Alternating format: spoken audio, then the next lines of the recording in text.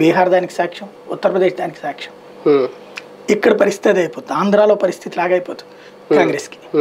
BRS ఒకసారి చూసుకుంటే వ్యూహం ఐదేళ్ళ పాటు కేసీఆర్ఏ సీఎంగా ఉండే అవకాశం ఉందా? లేదంటే గెలిచిన తర్వాత ఆయన నిర్ణయం ఏమన్నా మారే అవకాశం ఎంతవరకు ఉంది? బీఆర్ఎస్ సంపూర్ణ మెజారిటీ వస్తే మేబీ వన్ ఇయర్లో కేసీఆర్ కేటీఆర్ని పెట్టేస్తాడు. రేపు పార్లమెంట్ ఎలక్షన్స్ వరకు ఆయన చూసుకుని.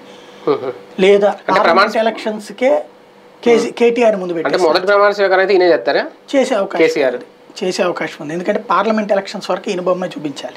ఉమ్. పార్లమెంట్ ఎలక్షన్స్ అయిపోయాక కేసీఆర్. లేదా తెగించాడు అనుకోండి కేసీఆర్. Hmm. మా కేటీఆర్ సీఎం అవుతాడు.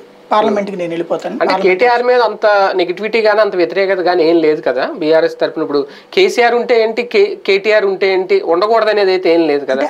ముందే ఏమన్నా పగ్గాలు ఆయన కప్ చెప్తారు ఆయన కోరిక మీద ఆధారపడి ఉంటుంది. అది తిరిగే కాలు తిట్టానో ఊరుకోదంటారు. కేసీఆర్ లాంటి ఖాళీకి కూర్చుంటే రాష్ట్రం ఏడు తీశాడు. రేపు పొద్దున అక్కడ ఖాళీకి కూర్చోకూడదు ఆయన. హరీష్ రావుకి కేటీఆర్కి మధ్యలో ఎట్లాగ వచ్చింది ఏంటి అప్పట్లో ప్రాబ్లం అంటే హరీష్ రావు కేటీఆర్ అంటే ఓకే అది కొంచెం దూరం. ఈయన అట్లా ప్రోత్సహించబట్టినే కదా.